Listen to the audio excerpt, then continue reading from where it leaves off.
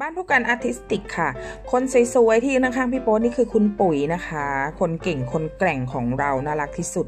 ก็เป็นแป้ง Wedding Organizer ที่สระบุรีนะคะ เป็นเจ้าใหญ่เจ้าดังเป็นอะไรที่แบบทุกคนต้องรู้จักแหละ ทีนี้คุณปุ๋ยมีภารกิจเร่งด่วนค่ะ ต้องการทำก้อนหินให้อยู่ในฉากด้านหลังนี้เลย ไปลุยกันค่ะ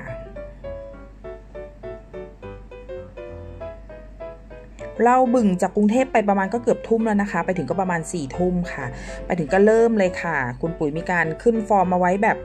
นิดหน่อยเราก็มาปรับนะคะ ปรับแล้วก็ลงสีเลยค่ะจำเป็นมากต้องทำสดๆ เพราะว่ามันสี่ทุ่มแล้วนะ จริง ๆแบบ มันก็ไม่แห้งไม่อะไรนะ แต่ว่าต้องยังไงอะทันทีทันใดตอนนั้นเลยคือ ไม่แห้งก็ต้องเอาไปมาร์กที่จุดเลยค่ะ มาร์กแล้วเป็นอย่างนี้ว้าว้า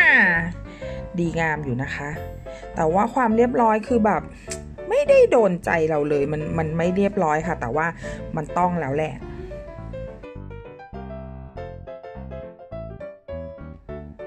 ก็ในส่วนของเวทีก็ได้ตามจำนวนที่ต้องการแล้วนะคะ มาลุยต่อตรงหน้า backdrop ค่ะ backdrop นี้ก็จะมีประมาณ 3-4 ก้อน ลุยเลยค่ะ สดมากสดจริง ๆ เราก็เตรียมอุปกรณ์ของเราไปครบนะคะ มีการปูพรมที่พื้นด้วยเพื่อไม่ให้เป็นการสกปรกแล้วก็เวลาเสร็จงานก็เคลียร์ง่ายนะคะ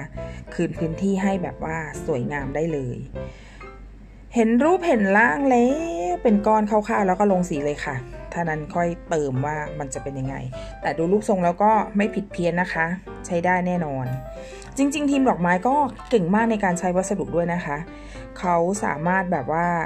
adapt FA แล้วก็มีการแบบ คือยังไงอะ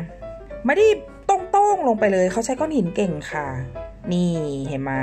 มีการปกคลุมด้วยดอกมุ้งดอกไม้แล้วก็ให้มันแพรมออกมามีหญ้ามาปกคืออะไร คือทำให้หินที่แบบเร่งด่วนของเรา สวยปั้วสวยเปี้ยไปเลย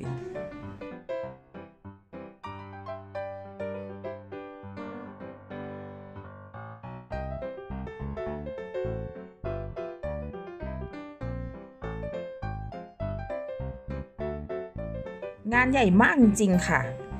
นู่นเลยค่ะเวทีอยู่ไกลไกมากๆเลย ก็เสร็จเรียบร้อยไปในราวๆตีสี่